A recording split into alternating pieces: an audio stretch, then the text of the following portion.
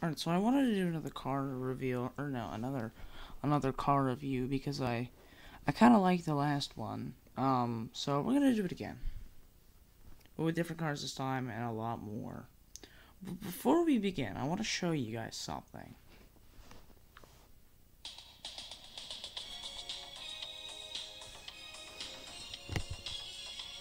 Get troll.